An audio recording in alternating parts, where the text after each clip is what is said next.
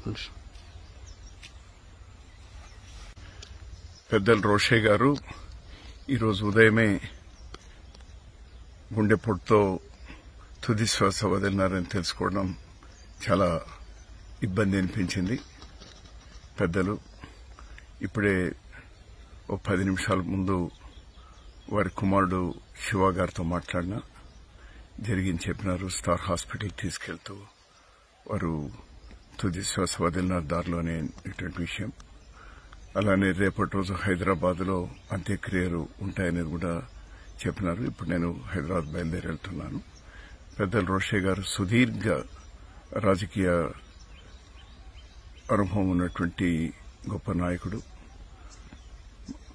అసెంబ్లీలో అతను లేని అసెంబ్లీ అతను లేని కౌన్సిల్ చూడ్డానికే ఇబ్బందిగా అనిపించింది.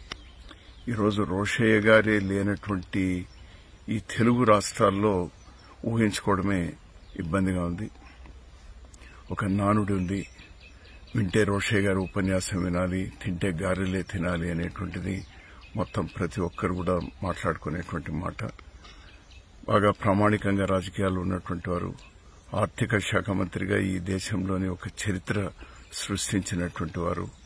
ఎవరు ముఖ్యమంత్రిగా ఉన్నా కూడా అండగా నిలబడి ఆ పరిపాలనలో వారు సహకారం అందించినటువంటి వారు నా అదృష్టం. వారితో కలిపి ఎమ్మెల్యేగా మంత్రిగా క్యాబినెట్లో పనిచేసేటువంటి అవకాశం కలిగింది.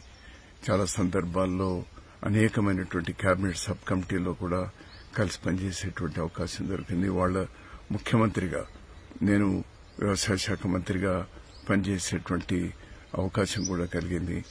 గొప్ప నాయకులు నిజంగా చాలా బాధేస్తుంది.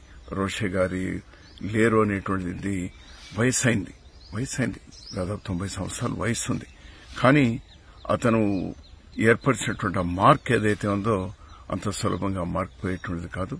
వారు ఇది- ఈ రాష్ట్రానికి చేసినటువంటి కృషి ఎనలేనిది. వారిని ఎప్పుడు కూడా గుర్తుంచుకుంటాం. రోషయ్య గారికి వారికి ఆత్మకు శాంతి కలగాలని వారి కుటుంబ సభ్యులు కూడా నా ప్రగాఢమైనటువంటి సంతాపాన్ని సానుభూతిని తెలియజేస్తున్నాను నేను ఇప్పుడు బయలుదేరి రేపటి రోజు అంత్యక్రియలో కూడా పాల్గొంటున్నాను.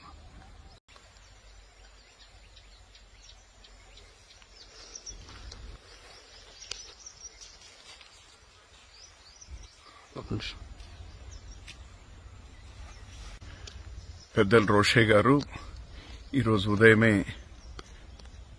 గుండెపోటుతో తుది శ్వాస వదిలినారని తెలుసుకోవడం చాలా ఇబ్బంది అనిపించింది. పెద్దలు ఇప్పుడే ఓ పది నిమిషాల ముందు వారి కుమారుడు శివ గారితో మాట్లాడిన జరిగింది చెప్పినారు స్టార్ హాస్పిటల్ తీసుకెళ్తూ వారు తుది శ్వాస వదిలిన దారిలోనే ఇటువంటి విషయం. అలానే రేపటి రోజు హైదరాబాద్లో అంత్యక్రియలు ఉంటాయనేది కూడా చెప్పినారు. ఇప్పుడు నేను హైదరాబాద్ బయలుదేరి వెళ్తున్నాను. పెద్దల రోషే గారు సుదీర్ఘ రాజకీయ అనుభవం ఉన్నటువంటి గొప్ప నాయకుడు. అసెంబ్లీలో అతను లేని అసెంబ్లీ అతను లేని కౌన్సిల్ చూడ్డానికే ఇబ్బందిగా అనిపించింది. ఈరోజు రోషయ్య గారే లేనటువంటి ఈ తెలుగు రాష్ట్రాల్లో ఊహించుకోవడమే ఇబ్బందిగా ఉంది. ఒక నానుడి ఉంది. వింటే రోషే గారు ఉపన్యాసం వినాలి తింటే గారెలే తినాలి అనేటువంటిది మొత్తం ప్రతి ఒక్కరు కూడా మాట్లాడుకునేటువంటి మాట. బాగా ప్రామాణికంగా రాజకీయాలు ఉన్నటువంటి వారు ఆర్థిక శాఖ మంత్రిగా ఈ దేశంలోని ఒక చరిత్ర సృష్టించినటువంటి వారు ఎవరు ముఖ్యమంత్రిగా ఉన్నా కూడా అండగా నిలబడి ఆ పరిపాలనలో వారు సహకారం అందించినటువంటి వారు. నా అదృష్టం వారితో కలిపి ఎమ్మెల్యేగా మంత్రిగా క్యాబినెట్లో పనిచేసేటువంటి అవకాశం కలిగింది.